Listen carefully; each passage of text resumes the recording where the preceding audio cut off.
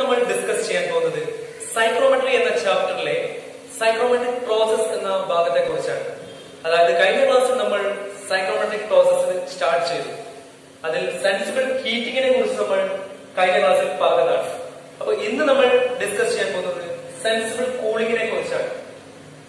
Sensible cooling എന്ന് പറഞ്ഞാൽ sensible ഹീറ്റിംഗിന്റെ നേരെ ഓപ്പോസിറ്റ് ആണ്. അതായത് സ്പെസിഫിക് ഹ്യൂമിഡിറ്റിക്ക് മാറ്റമില്ലാതെ എയറിനെ കൂൾ ചെയ്യുന്ന പ്രോസസ് ആണ് സെൻസിബിൾ കൂളിംഗ് എന്ന് പറയുന്നത്. ഇവിടെ വരച്ചിരിക്കുന്നത് സൈക്കോമെട്രിക് പ്രോസസിന്റെ ചെറിയൊരു ഫിഗർ ആണ്. അതുപോലെ തന്നെ ഈ സൈക്കോമെട്രിക് പ്രോസസ് നടക്കുന്ന സമയത്ത് എയറിലുണ്ടാകുന്ന മാറ്റങ്ങൾ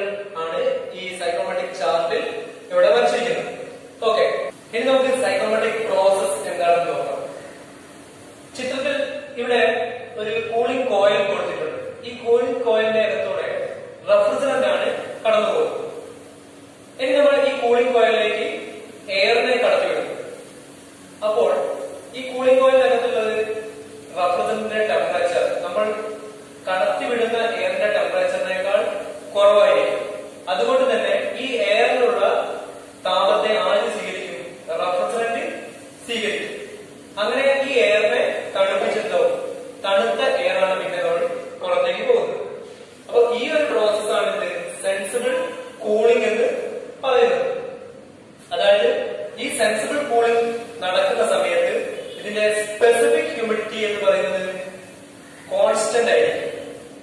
നിങ്ങൾക്ക് ഇവിടെ ഈ ലൈൻ നോക്കിയാൽ അറിയാം. അതായത് സെൻസിബിൾ കൂളിംഗിന്റെ ലൈൻ എന്ന് പറയുന്നത് വലത് നിന്നും ഇടത്തേക്കുള്ള ഹൊറിസോണ്ടൽ ലൈനാണ് ഇനി നമുക്ക്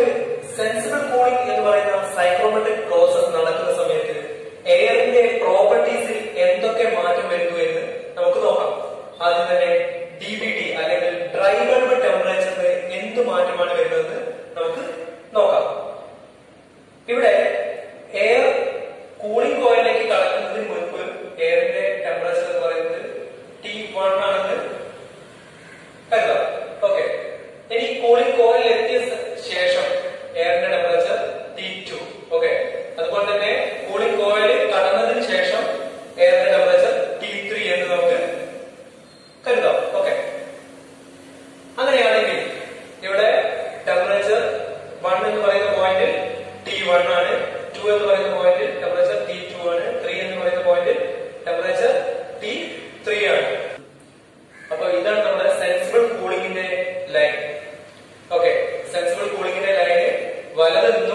think you're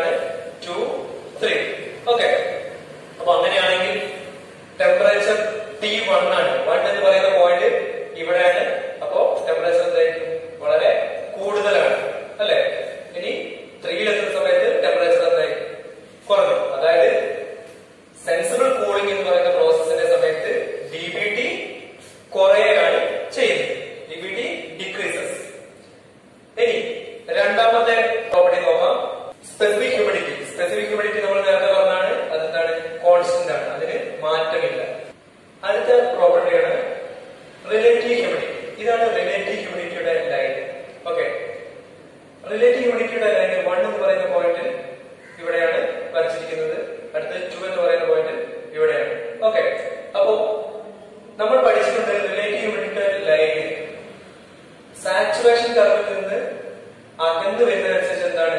റിലേറ്റീവ് കുറെ ആളുകൾ നമ്മൾ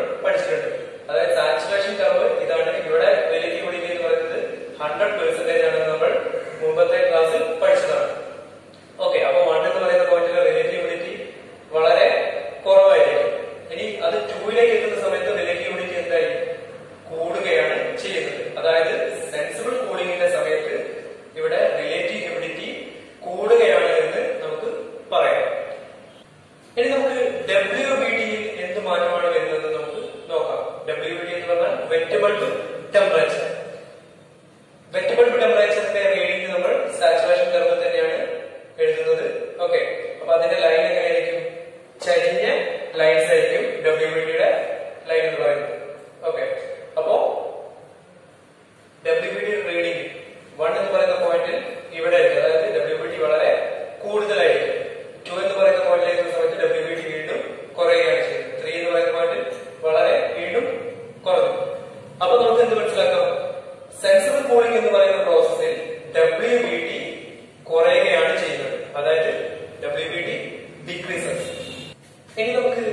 Linda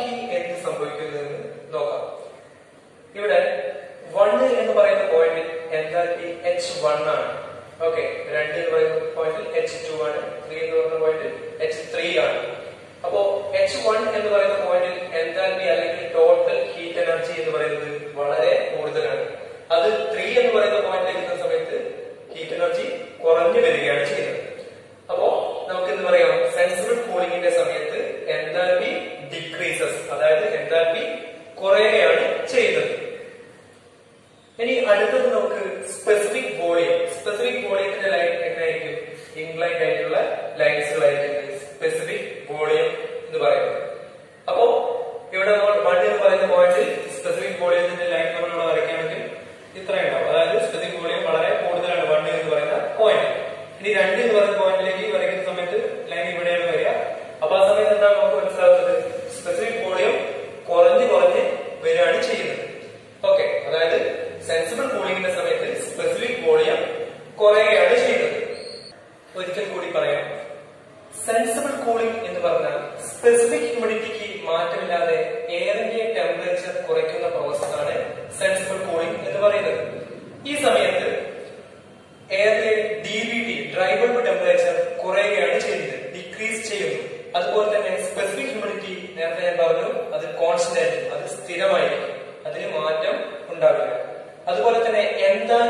ഡിക്രീസ് ചെയ്യുകയാണ് ചെയ്യുന്നത്. അതായത് ഇതാണ് എൻതാൽപ്പിയുടെ ലൈൻ എൻതാൽപ്പി കുറയുകയാണ് ചെയ്യുന്നത്.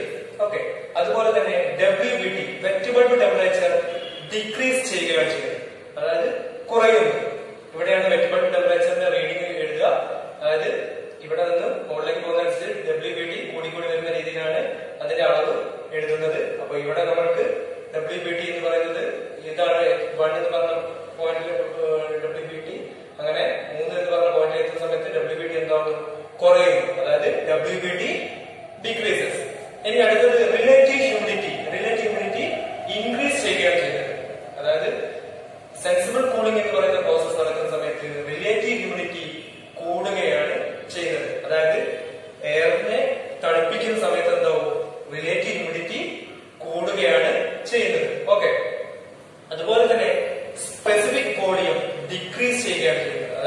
സ്പെസിഫിക് വോളിയം കുറയുന്നു. ഈ പ്രോസസ് നടക്കുന്ന സമയത്ത് സെൻസിബിൾ കൂളിംഗ് എന്ന് പറയുന്ന പ്രോസസ് നടക്കുന്ന സമയത്ത് സ്പെസിഫിക് വോളിയം കുറയുകയാണ് ചെയ്യുന്നത്.